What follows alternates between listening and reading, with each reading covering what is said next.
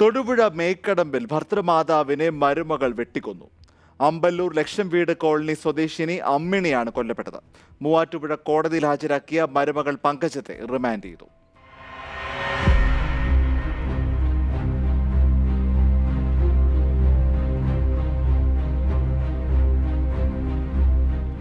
ഞായറാഴ്ച രാത്രി പത്തരയോടെയാണ് കൊലപാതകം.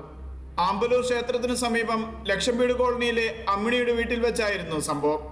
പെട്ടെന്നുണ്ടായ പ്രകോപനത്തിൽ അമ്മയെ വെട്ടിയെന്ന് മരുമകൾ പങ്കജം സഹോദരനെ അറിയിച്ചതോടെയാണ് വിവരം പുറത്തറിയുന്നത്. സഹോദരൻ എത്തുമ്പോഴേക്കും മരിച്ചിരുന്നു.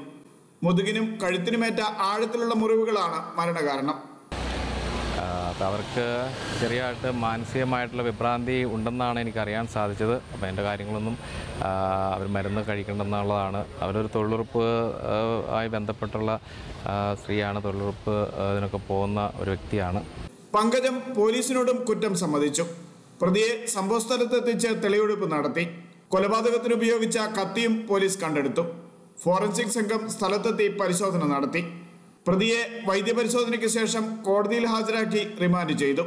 വർഷങ്ങളായി മാനസിക അസ്വസ്ഥതയ്ക്കുള്ള മരുന്ന് കഴിക്കുന്നയാളാണ് പ്രതിയായ പങ്കജം. പെട്ടെന്നുണ്ടായ അസ്വസ്ഥതയാകാം കൊലപാതകത്തിന് കാരണമെന്നാണ് പോലീസിന്റെ നിഗമനം. മറ്റെന്തെങ്കിലും കാരണമുണ്ടോ എന്നും അന്വേഷിക്കുന്നുണ്ട്. ഏഷ്യാനെറ്റ് ന്യൂസ് തൊടുപുഴ